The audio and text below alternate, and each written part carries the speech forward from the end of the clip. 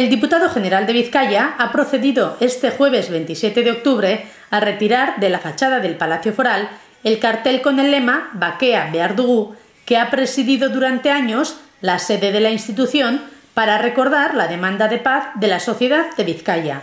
De forma previa, el diputado general ha dado lectura a un manifiesto institucional en el salón de recepciones del Palacio Foral.